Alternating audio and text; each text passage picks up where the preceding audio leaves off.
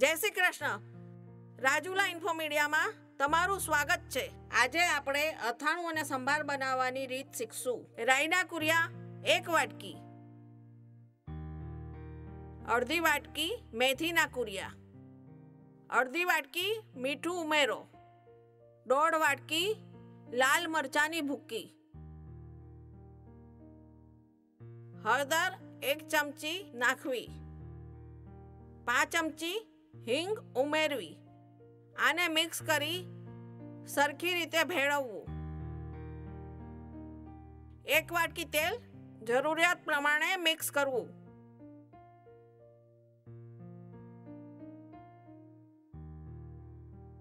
તેલ નાખવાથી સંભારનો રંગ ખીલી આવશે અને સંભાર લાંબા સમય સુધી ટકશે. આ થઈ ગયો સંભાર તૈયાર. હવે હું તમને કેરીનું અથાણું બનાવવાની રીત બતાવીશ.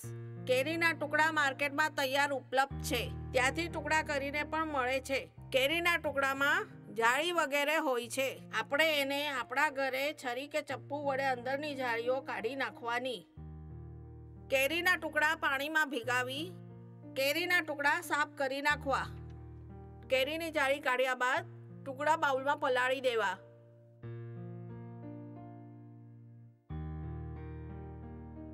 કેરીની વચમાં કેરીઓમાં જે જાળીઓ હોય એને છરીથી કાઢી નાખવી અને સીધા સીધા જે કેરીના ટુકડા હોય એને આમ જ પાણીમાં પલાળી દેવાના. આ કેરીના ટુકડા સાફ કરી પાણીથી ધોઈ એને એક બોલમાં કાઢી નાખવા. કાચી કેરી ખાવાની પણ મજા અલગ જ હોય છે. કેરીના ટુકડા સાફ કર્યા પછી આમાં બે ચમચી મીઠું નાખવું અને અડધી ચમચી હળદર ઉમેરવી. હળદર અને મીઠું નાખ્યા બાદ સામગ્રીઓને સરખી રીતે ભેળવો. બધી સામગ્રીઓ એક રસ થાય એવી રીતે ભેળવો. આ કેરીના ટુકડાને મીઠું અને હળદર સાથે ભેળવ્યા બાદ એને એક ખાલી બરણીમાં ભરવામાં આવે છે. બરણીમાં સામગ્રી ભર્યા બાદ એક રસ કરવા ઢાંકણું બંધ કરી બરણી હલાવવી જોઈએ. આ કેરીના ટુકડા એક દિવસ રહેવા દેવાના, જેથી એમાંથી ખાટું પાણી નીકળશે. તે આગળ જરૂર પડે તો વધારે સમય રાખવું. ખાટું પાણી બની ગયા પછી ચોવીસ કલાક બાદ આ કેરીના ટુકડા એક રસ થઈ જાય છે.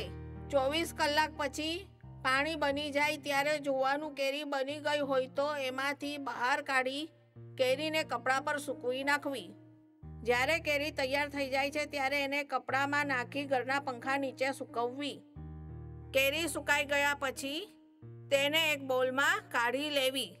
બોલમાં ઈચ્છા અનુસાર જરૂરિયાત પ્રમાણે સંભાર મિક્સ કરી દેવાનો. મેં બે મોટા ચમચા સંભાર ઉમેર્યો છે અને એ પછી જરૂરિયાત પ્રમાણે તેલ નાખવું જોઈએ.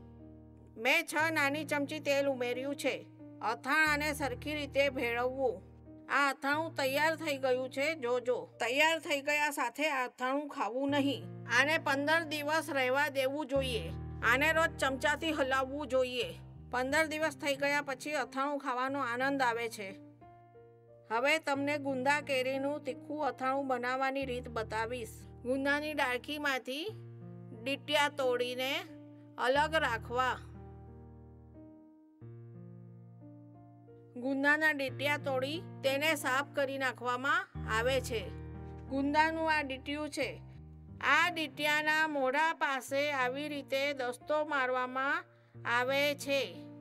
ડીટિયાનું મોઢું ખુલ્યા બાદ સર્વપ્રથમ હાથમાં મીઠું લગાવવું, ગુંદુ હાથમાં પકડવું ગુંદાની અંદર ચિકાસ હોય છે. જે હાથને લાગે નહીં માટે છરી વડે ગુંદામાંથી બીજ બહાર કાઢવું.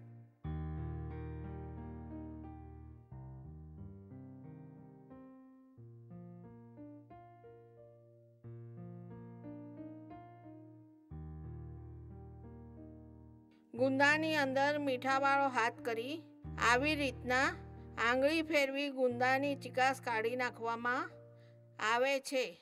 સ્વાદ વધારવા કેરીનું છીણ ઉમેરશું. કેરીનું થોડું છીણ ખમણીને સંભારમાં નાખવામાં આવે છે.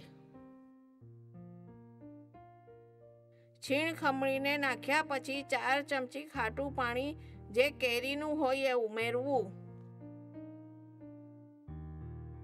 સંભારના મિશ્રણને સરખી રીતે ભેળવી નાખવું. હવે મિશ્રણ તૈયાર છે. ગુંદામાંથી વધારાનું પાણી નીચવીને કાઢી નાખવું. પાણી નીકળી ગયા બાદ ગુંદામાં સંભાર ભરવો. સંભાર ભરી ગુંદાનું મોડું બંધ કરી દેવું. કેરીના છીણ અને ખાટા પાણીથી ગુંદાના સ્વાદમાં વધારો થાય છે. સંભાર ભરીને ગુંદાને એક કડાઈમાં મૂકો. ગુંદામાં તેલ ત્રણથી ચાર ચમચી જરૂરિયાતના હિસાબે નાખવું જોઈએ. ગુંદાને મધ્યમ આંચ પર પાંચ મિનિટ પકાવવું.